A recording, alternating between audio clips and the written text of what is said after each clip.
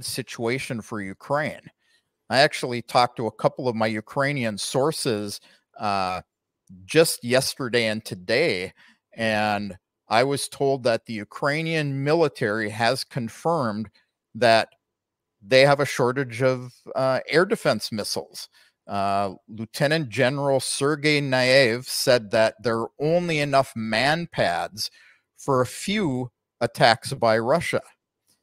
And the US has promised them a thousand Patriot missiles, but that's a cost of three to eight billion dollars to the United States, and it now has to be approved by Congress.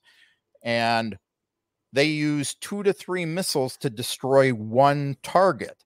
So when you have Russia shooting 50 missiles at you, you know, you're now burning up 100 of those Patriot missiles to 150 of those Patriot missiles.